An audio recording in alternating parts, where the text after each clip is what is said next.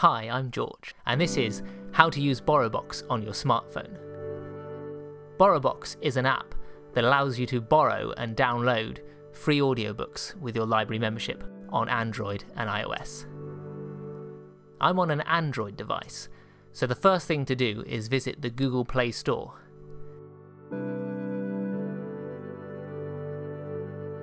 Tap in the search bar near the top and start typing BorrowBox.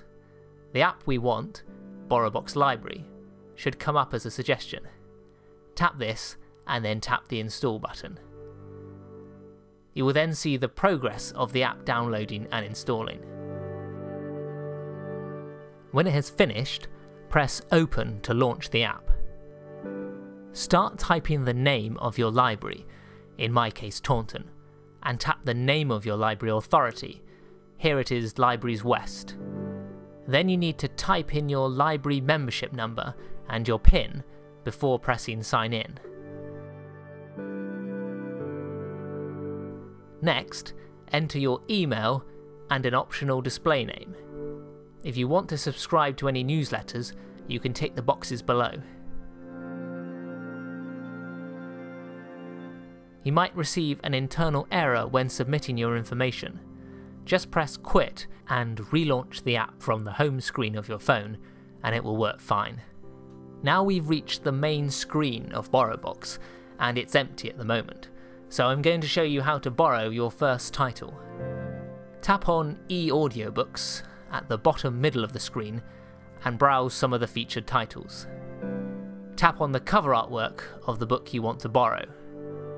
This will take you to the book's details page. Press the green borrow button and confirm the loan.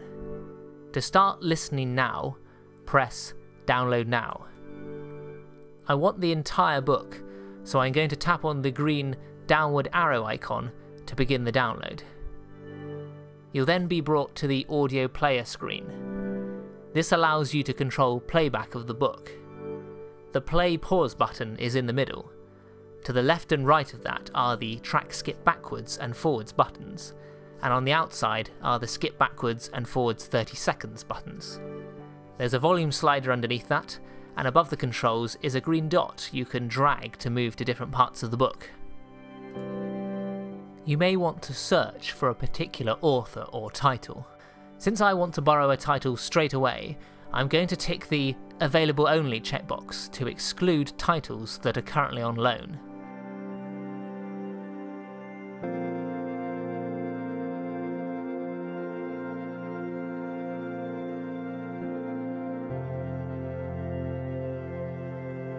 It's the exact same steps to confirm the loan, but I won't download it at the moment.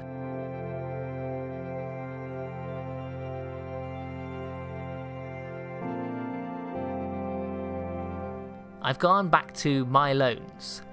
If you no longer acquire a book, you can press the return button. If there's a waiting list for it, the next person in the queue will get it quicker, so it's always good to return when you can. Alternatively, if it hasn't been reserved and you need more time, press the renew button. If an item is on loan, you can reserve it and be notified when it becomes available. Here I'm searching for another title. It has orange on loan text and a date available. Press the orange reserve button to join the waiting list. There's no charge for this, as everything on BorrowBox is free. You can also create reading lists of books you want to come back to.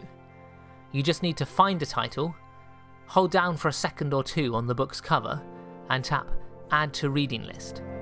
You can also do this when browsing titles.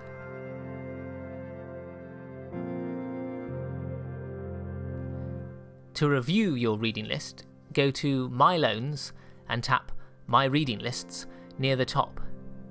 To remove unwanted titles, hold down again on the cover for a couple of seconds and choose Remove from Reading List, or press the three vertical dots to bring up the same menu.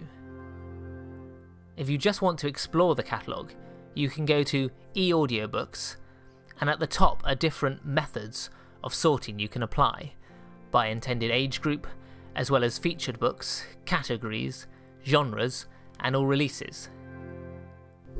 So hopefully now you're a pro at using BorrowBox on your smartphone. If you found the video helpful, please like and share it with your friends. Make sure to follow us on social media to get our latest posts. And thanks for watching.